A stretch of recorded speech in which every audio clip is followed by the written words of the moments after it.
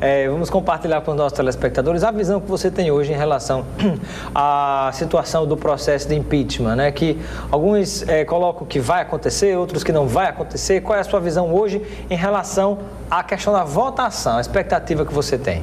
Olha, Robson, nós vivemos uma disputa muito intensa né, no Brasil, uma disputa política. Eu tenho dito várias vezes sobre isso.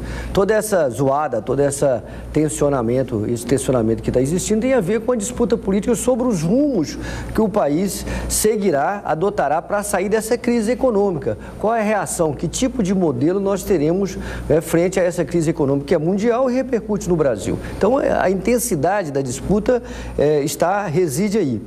Eu hoje acho que a situação né, dos golpistas está mais difícil para eles. Por quê? Por duas questões. Primeiro, porque a sociedade brasileira, cada dia que passa, está mais consciente que se trata de um golpe contra a democracia. Não à toa, vários setores da sociedade brasileira, das mais variadas tendências, porque não se resume mais a uma discussão entre PT, PCdoB, CUT, CGT, MST, UNE, os movimentos sociais organizados, os partidos de esquerda, contra a oposição. Não se trata mais disso. Né? Hoje, vários setores da sociedade brasileira que não são do PT, que não, nem apoiam a Dilma, né? nem tem crítica ao governo da Dilma, por exemplo, estão participando de uma campanha em defesa da democracia. Por isso é que eu estou dizendo que é uma novidade importante, boa, positiva, a entrada dos setores da sociedade na luta democrática. Eu comparo o seguinte, é como se tivesse tendo um jogo de futebol, um jogo muito feio, né? canela e falta para tudo quanto é lado, e a população estivesse na arquibancada.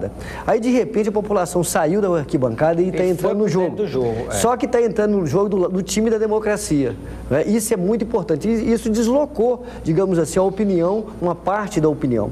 E outro movimento também importante é a entrada de Luiz Inácio Lula da Silva na articulação política do governo. Né? Com todos esses problemas em relação a se assume ou não a Casa Civil, Lula tem feito as suas discussões, tem contribuído e muito na sua capacidade de articulação, né? na sua experiência, inclusive ajudando ali é, todo dia a presidenta Dilma a enfrentar essa turbulência, que é o papel dele, como ele sempre diz. Então eu digo que esse momento, essa combinação dessa movimentação da sociedade, né, com as ações e reações do governo em relação a essa pressão, nos indicam hoje, do meu ponto de vista, né, que o impeachment será derrotado. Né? As pessoas estão muito claramente entendendo que esse golpe através do impeachment ele não vai acontecer como os golpistas queriam.